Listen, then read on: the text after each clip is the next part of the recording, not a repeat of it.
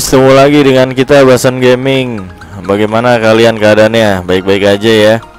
Semoga kita terlepas dari musibah atau wabah COVID-19 ya. Jadi minggu ini akan ada apa pemberlakuan pembatasan sosial bes uh, berskala besar ya di Jakarta khususnya ya guys. Untuk daerah lain juga sudah mungkin udah mulai ya guys. Jadi uh, apa namanya uh, saya akan bagikan video ya. Mesti berdasarkan banyak uh, pertanyaan yang masuk eh, minggu-minggu uh, ini atau sebelum-sebelumnya uh, terkait pemakaian harddisk eksternal uh, atau extend storage ya di PS4 ya. Dalam artian uh, bag pertanyaannya bagaimana saya bisa inject game atau sharing akun ya dia memakai gamenya itu kita memakai harddisk eksternal ya dari satu PS yang satu ke PS yang lain gitu misalnya atau PS3 apa apa 3 PS ya maksudnya uh, untuk yang cara normal atau standarnya untuk sharing akun atau inject game atau sharing game ya dari PS uh, bisa hanya untuk 3 PS ya. Kalaupun misalnya banyak PS uh, bisa juga tapi memang apa namanya hanya ada triknya gitu ya ada tipsnya lain lagi gitu kan. Saya akan bagikan untuk inject game di harddisk eksternal atau storage untuk sementara saya akan gunakan untuk 2 PS ya. Tapi kalau ketiga nanti saya bisa sebutkan aja caranya gitu kan. Nah, kebetulan hanya apa namanya PS eh, saya akan uji coba di PS saya dan PS anak saya gitu ya. Jadi apa namanya di video-video sebelumnya saya sudah bagikan untuk kita cara download game dengan PSX download helper ya. Dan juga bagaimana menggunakan apa harddisk PS4 di satu PS ke PS4 yang lain. Itu dalam artian itu sebenarnya udah sharing akun tapi saya nggak perjelas untuk sharing akun atau inject gamenya di extend storage ya. Jadi ini saya akan perjelas bagaimana cara kita untuk mempercepat dalam artian kan prosesnya itu adalah kita apa dari game PS uh, dari PS yang satu itu kita uh, lokasi install di extend storage gitu kan. Otomatis kan di internal atau di PS nomor satu ini gamenya nggak terinstall gitu karena kita mau fungsikan extend storage itu misalnya di PS yang kedua misalnya gitu kan. Jadi nanti saya akan bagikan caranya untuk kita bisa mempercepat proses download atau install ya. Jadi kita nggak perlu misalnya kalau kalian apa namanya kalau kalian isi game misalnya gitu ya kalian nggak perlu sebenarnya untuk kita harus menghapus game-game lama kita sebenarnya gitu ya. Misalnya kalian inject game gitu kan uh, untuk pengisian kedua kalian harus format harddisk kalian dan hilang semuanya game kalian. Jadi cara ini adalah tips untuk menyiasati atau mengatasi bagaimana kalau kalian nggak mau hapus game lama kalian. Kalian mau isi game lagi tapi dengan caranya seperti ini gitu. Jadi ada negosiasi atau komunikasi yang kalian bagikan gitu kan. Kalian komunikasikan untuk mengisi gamenya dari PS apa yang sudah terisi game sebelumnya gitu kan otomatis kan PS kalian PS yang kedua misalnya atau PS yang kedua dan seterusnya gitu kan. Nah, PS yang nomor satunya itu yang utama ada game yang dibelinya itu di si penjual misalnya gitu kan. Jadi ini saya akan bagikan uh, cara mempercepat atau tips ya sedikit ya untuk kalian bisa inject game uh, di banyak PS ya dengan cara cepat atau dalam artian uh, inject game di external storage di harddisk eksternal supaya mengatasi internal harddisk kalian sudah penuh misalnya gitu kan. Oke uh, tanpa berlama-lama kita akan coba atau kita akan praktekkan ya. Dan kalian saksikan terus videonya sampai selesai jangan sampai ketinggalan informasinya ya guys. Oke kita mulai guys lanjut. Oke uh, cara ini adalah cara untuk kita misalnya uh, isi game kembali ya jika kalian PS-nya itu hasil dari signing akun atau inject game lalu ingin mengisi lagi dan bernegosiasi untuk tidak menghapusnya dengan cara penjual menginstalnya misalnya kita mau isi di harddisk eksternal gitu kan. Jadi buat apa namanya penjual inject game juga ini adalah tips juga ya untuk kalian bisa menghemat atau kalian uh, tanpa menghapus game lamanya si customer gitu kan.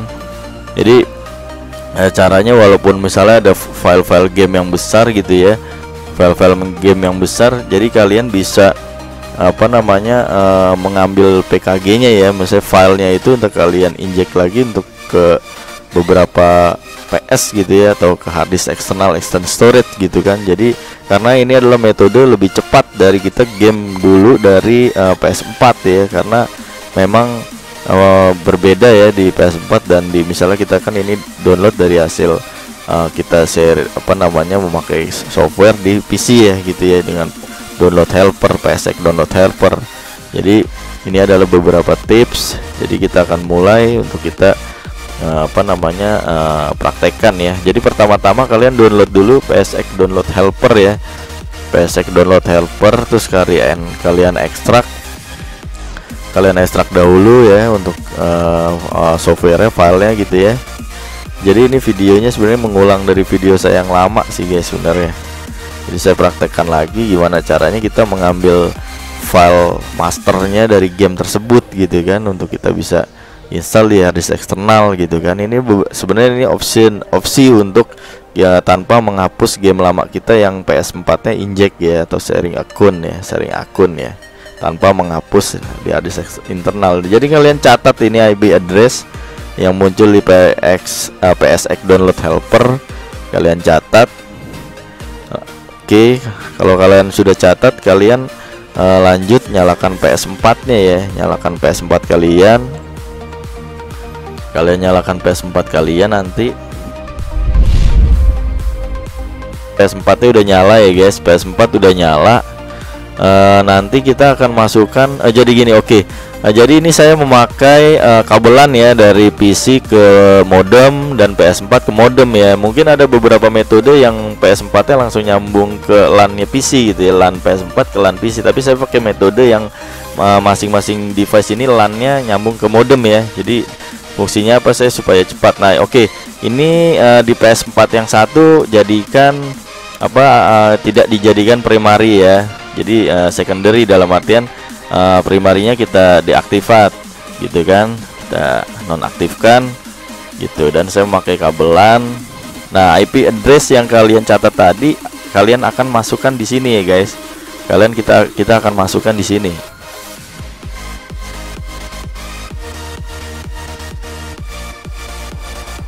Jadi kenapa kita pakai kabelan itu ya fungsinya untuk menstabilkan atau mempercepat proses download ya gitu ya Nah, jadi kabelan PC nyambung ke modem, kabelan PS4 nyambung ke modem gitu ya. Kalian bisa pakai WiFi pun bisa ya. Gitu. Masing-masing nyambung ke WiFi. Jadi kita udah apa namanya ini kita gunakan kabelan, kita custom ya. Custom otomatis. Lanjut aja jangan tentukan otomatis lagi. Nah, setelah peng eh, otomatis lagi server proxy kita gunakan. Nah, masukkan IP yang tadi kalian catat dari PSX download helper supaya terhubung antara PS4 dan PC kalian. Gitu. Ini adalah cara yang menurut saya bisa menyiasati keluhan-keluhan customer yang apa jika injek game game lamanya dihapus gitu kan. Dan dia harus mengganti game dengan paketan yang lain dan uh, hilang gitu kan. Bagaimana caranya kalau kalian maunya isinya di extend storage gitu. Maksudnya kita uh, bisa memakai metode ini sebenarnya gitu untuk sharing uh, game gitu ya oke okay.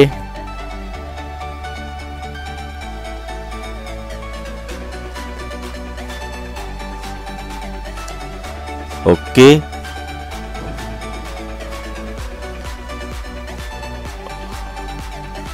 Oke ya, ini udah jenis dua ya.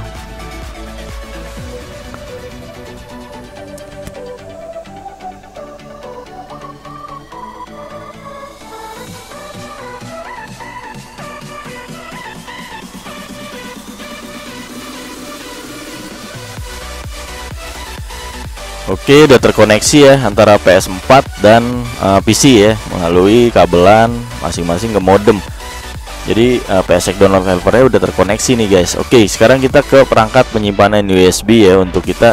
Saya menggunakan ada external USB 30 ya.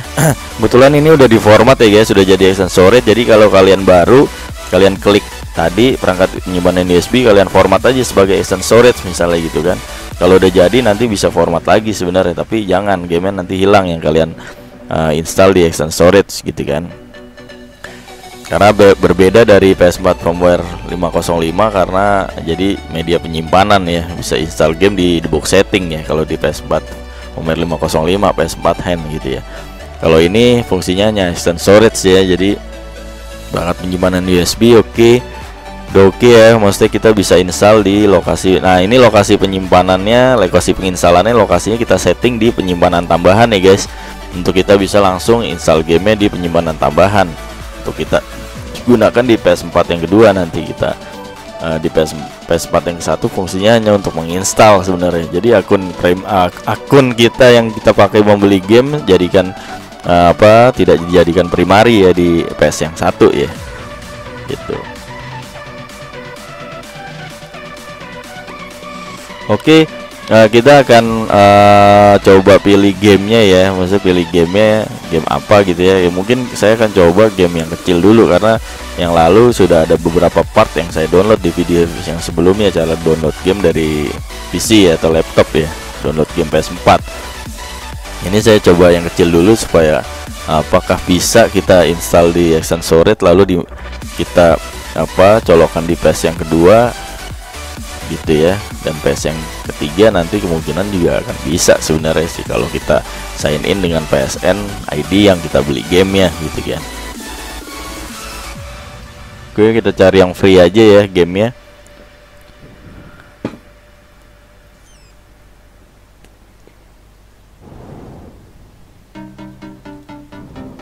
Kita cari yang free gamenya.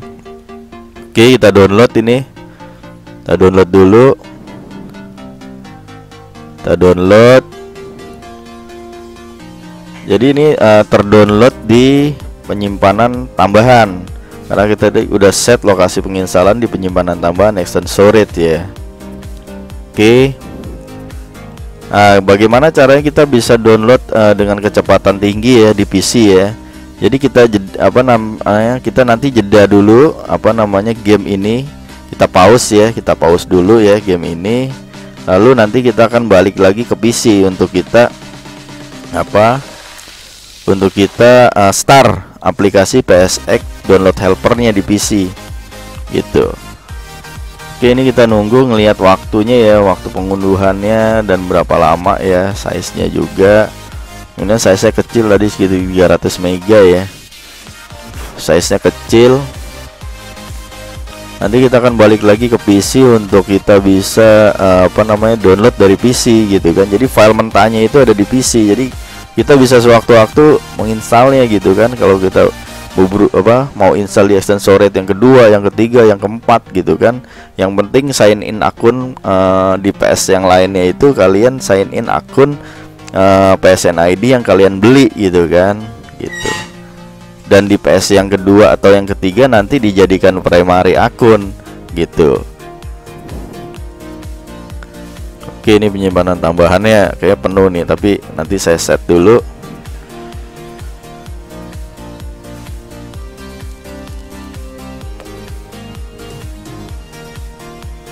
Saya set dulu untuk saya hapus satu game mungkin supaya bisa apa uh, download ya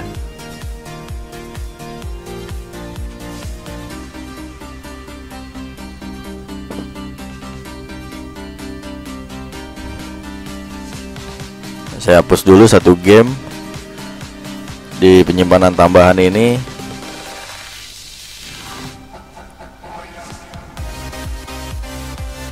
Saya hapus dulu satu game yang besar ya game ya. Jarang dimainin sama anak saya nih. Sebenarnya ini extensoretnya apa di PS nya anak saya gitu kan. Saya akan uji coba. Apakah pertanyaannya apakah bisa inject game itu di extensoret jawabannya bisa gitu ya. Jawabannya bisa. Nggak ada yang nggak bisa. Oke. Jadi ini uh, proses download lagi jalan ya.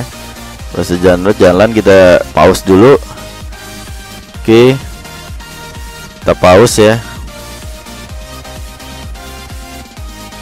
Oke kita pause. Kita akan balik ke uh, apa namanya ke PC ya. Untuk kita bisa apa namanya uh, start aplikasi PSX download helper. Oke ini kita catat udah tadi kita catat kan udah kita koneksikan PS4 dan PC ini allow access saja kalau dia ada notif muncul di PC kalian seperti ini. Nah ini belum muncul apa-apa ya guys. Belum muncul apa-apa kalian balik lagi ke PS4 kalian balik lagi PS4 kalian lanjutkan proses downloadnya. Kalian lanjutkan ya. Oke kalian lanjutkan kalian balik lagi ke PC nah cari kalian cari untuk kita bisa download file masternya ya game tersebut. Cari file yang depannya GS2 ya. File utamanya dengan belakangnya itu 001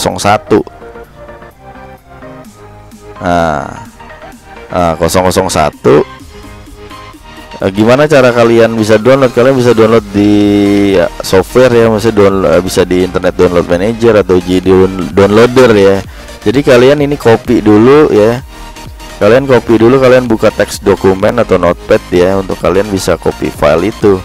Untuk kita bisa hilangkan ada beberapa kata yang kita harus hilangkan ya untuk kita bisa download di internet download manager. Ini kalian jadi nanti game itu kalau kalian koneksikan PS4 dan PC kalian untuk download di PSX download helper akan muncul beberapa file ya maksud dalam artian akan muncul beberapa file yang depannya IC GS2 tapi kalian cari yang belakangnya 001 gitu. Kalian cari belakangnya 001 kalian copy. Lalu kalian buka teks dokumen atau notepad ya. Oke. Kalian pas di sini. Oke nanti uh, ada tulisannya n server di belakang ya. N server di belakang n server di belakang itu kalian hapus. Kalian hapus. Oke ini kita jeda dulu. Ini kita jeda lagi. Tadi lupa di jeda, di pause ya. Prosesnya udah jalan juga 170 giga eh 170 MB nah n server udah dihapus ya. Eh belum? Oke n servernya kita hapus dulu. Hand servernya kita hapus dulu. Nah setelah hand server dihapus kita nanti copy uh, eh, URL nya di internet download manager. Seperti itu. Kita do apa kita copy URL nya di internet download manager ya. Saya sertakan link deskripsi untuk kalian bisa download PSX download helper internet download manager. Gitu ya.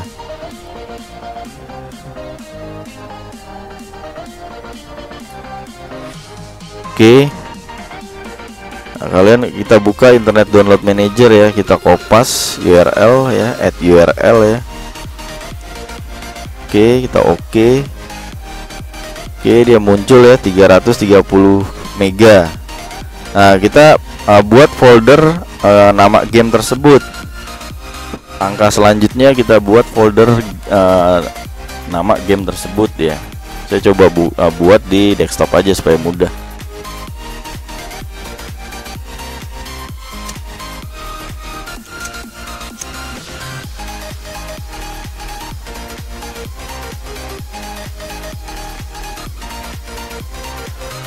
Oke. Nah ini kita akan mulai download ya. Kita akan mulai download. Jadi file masternya itu ada kita Kita pegang gitu file masternya Kapan pun kita mau inject uh, Game di internal atau di eksternal itu bisa gitu Satuan gitu ya. Oke. Jadi kita hanya sementara apa file downloadnya itu kita udah pegang gitu. Jadi kita nggak mendownload ulang gitu kan sebenarnya kalau buat nanti yang kedua yang ketiga. Saya akan bagikan ini adalah video part 1 ya. Kita akan uji coba nanti di extensor rate yang kedua di video selanjutnya. Oke ini sangat cepat ya downloadnya. Kalau kalian internet kalian semakin cepat 50 Mbps 100 Mbps akan semakin cepat gitu kan? Dengan PSX download helper. Oke ini file udah jadi ya maksudnya file udah selesai kita download. Nah langkah selanjutnya kita akan pindahkan maksudnya kita akan teruskan download di PS4 tapi sebenarnya uh, itu hanya memindahkan dalam artian seperti copy file ya. Gitu oke. Ini kita buka lagi PSX download helper setelah kita selesai download ya. Kita klik select. Kita klik select kita cari file yang kita download tadi. Ya di dalam folder kita klik. Misalnya ada beberapa part part satu aja yang kita klik cukup. Gitu kan? Nah setelah itu kita ke tab setting di PSX download helper tab setting. Oke. Kita ke tab setting. Nah klik uh, di situ auto find replace file ya folder ya. Kita nah sekarang kita klik foldernya. Kita klik foldernya. Kita oke okay aja. Habis itu kita apply. Ya. Habis itu kita akan apply. Oke. okay. Kita apply. Nah ini udah bisa kita uh, lanjutkan di PS4 jadi proses copy sebenarnya sih sebenarnya. Jadi bukan apa bukan download lagi sebenarnya. Kita hanya proses copy gitu. Ini udah jalan 170 mega dan dia udah tinggal lanjut aja hitungan detik juga selesai gitu kan guys. Gitu bukannya menit lagi. Nah dari tiga menit langsung apa naik ya jadi 13 detik jadi hanya sebatas copy file aja ini dari PC ke PS4 gitu ya. Seperti kita kayak copy file dari uh, maksudnya uh, game-game yang di PS4 firmware 505 ya di debug setting itu.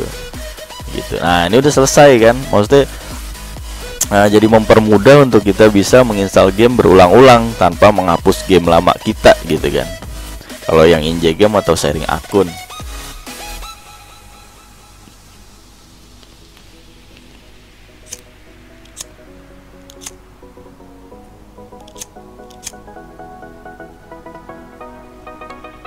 Oke, ini udah selesai. Nah, kita akan lihat game ini ada di mana. Tuh ya. Game ini terinstall di lokasi penginstalan aplikasi. Aplikasinya penyimpanan tambahan nih guys, extend storage. Nanti juga saya akan coba buka di eh, maksudnya game ini di PS yang kedua gitu ya di apa di PS anak saya nih. Nah, ini di PS yang ke satu penyimpanan tambahan ya. Game ini ada di penyimpanan tambahan. Jadi portable lah di eksternal ini kita bisa colok cabut. Yang penting uh, sign in PSN yang kita beli PS4 uh, game ini lalu di PS yang kedua atau ketiga dijadikan primary ya di PS yang satu apa tidak dijadikan primary ya secondary ya istilahnya gitu guys sebenarnya proses ini udah selesai proses ini udah selesai kita udah selesai menginstal atau mendownload game di Essence Storage ya. Seperti itu. Nah, ini kita tes gamenya. Ini kan berjalan ya di Essence Storage dan kemungkinan juga di PS yang kedua jalan gitu running normal gitu ya. Oke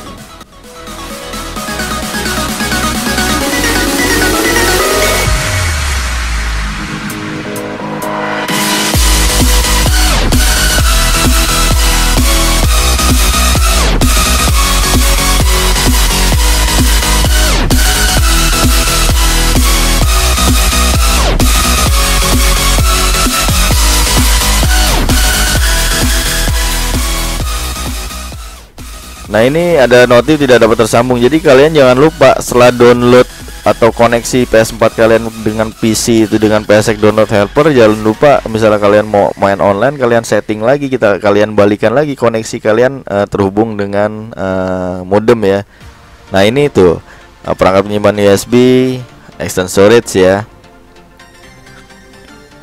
Seperti itu jadi kalian jangan lupa kalian balikan lagi koneksinya kalau kalian udah selesai download atau koneksi dari PC ke P dengan PS4 nya kalian normalkan lagi untuk kalian bisa online match kalian nyambung langsung ke uh, modem ya gitu. Oke ini saya keluar dulu mesti saya keluarkan dulu uh, penyimpanan tambahannya ya. Kita hentikan. Jadi biasakan extensor itu kalian masuk ke perangkat penyimpan USB dan hentikan penyimpanan USB ini gitu. Jangan main asal cabut supaya harddisk kalian uh, terawat gitu ya misalnya nggak rusak gitu ya kalau kita cabut langsung gitu. Oke. Uh, prosesnya udah selesai ini ya. Sudah selesai kita akan matikan PS4 ini. Uh, dan kita akan coba uh, colokan harddisk extensor ini di PS yang kedua dengan PSN ID yang kita beli game dan kita jadikan primary akun ya untuk kita bisa main online dan offline untuk PS yang kedua gitu. Oke ini uh, ini adalah PS anak saya ya guys. Uh, tanpa capture card saya shoot apa ambil videonya. Karena ada di kamar atas ya kamar dia gitu ya. Nah ini dia. Saya akan uh, masuk dengan akun yang saya beli game tadi gitu. Istilahnya saya download game tadi gitu kan. Itu jadi kalian perhatikan uh, uh, di video ini ya guys sampai selesai ini udah mau selesai sebenarnya prosesnya. Jadi kita hanya uh, hanya mengecek aja. Filenya itu udah ada di extend storage gitu kan. Hanya mengecek aja dan uh, apa namanya ID PSN ini dijadikan primary kita. Untuk yang PS kedua itu akun yang kita beli game itu dijadikan primary untuk kita bisa main dengan akun yang lain gitu kan. Online dan offline gitu. Yang penting jadiin primary nanti juga di PS yang ketiga kalian jadikan akun primary juga gitu. Awal-awalnya online gitu ya untuk kalian bisa uh, jadikan akun primary setelah itu kalian sign out.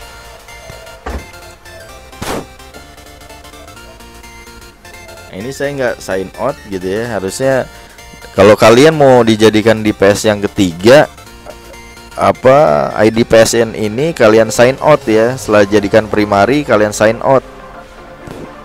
Kalian sign out lalu kalian di PS yang ketiga kalian uh, apa sign in lagi dengan game yang kalian beli gitu ya. Dengan game yang kalian beli ini. Lalu ID PSN nya dijadikan primary. Terus kalian sign out. Terus offline. Maksudnya jangan terhubung dengan jaringan internet gitu ya untuk yang ketiga ya. Jadi saya nggak praktekkan untuk yang ketiga tapi saya, saya uh, informasikan aja caranya seperti itu nanti juga mungkin saya akan apa uh, tulis ya di link deskripsi untuk PS yang ketiga uh, metodenya seperti apa. Oke ini sudah ada di penyimpanan tambahan dan kita bisa mainkan gitu ya tanpa digembok ya dalam artian apa namanya karena sign in PSN ID-nya yang buat dibeli dijadikan primary gitu ya dia bisa online bisa offline. Untuk yang PS yang kedua untuk PS yang ketiga uh, kalian sign out juga tapi jaringan internetnya di off kan gitu. Hanya bermain offline. Tapi memang di PS yang ke satu yang kedua kalau berbarengan untuk kalian online nggak bisa ya. Misalnya akun yang sama dipakai gitu. Harus berlainan. Jadi PS yang ke satu pakai akun ini akun utama yang buat beli game. PS yang kedua kalian pakai akun yang lain karena dijadikan primary itu bisa dimainkan seperti itu guys. Jadi uh, demikian mungkin nanti praktek untuk yang extensor rate yang kedua saya akan bagikan di video berikutnya ya guys. Jadi seperti itu untuk kita bisa uh, mengisi game tanpa menghapus game lama kita kalau kita yang inject game sebenarnya. Tapi tergantung penjualnya apa apakah melayani yang seperti itu gitu kan. Tergantung penjualnya juga oke? Okay? terima kasih udah nonton video saya. Sampai jumpa di video-video berikutnya. Semoga kita terbebas dari wabah ini ya guys. Semua keluarga kita sehat, negara kita sehat dan kita bisa hidup normal dalam artian uh, semuanya terlepas dari musibah ini. Makasih guys. Sampai jumpa di video-video berikutnya. Happy gaming.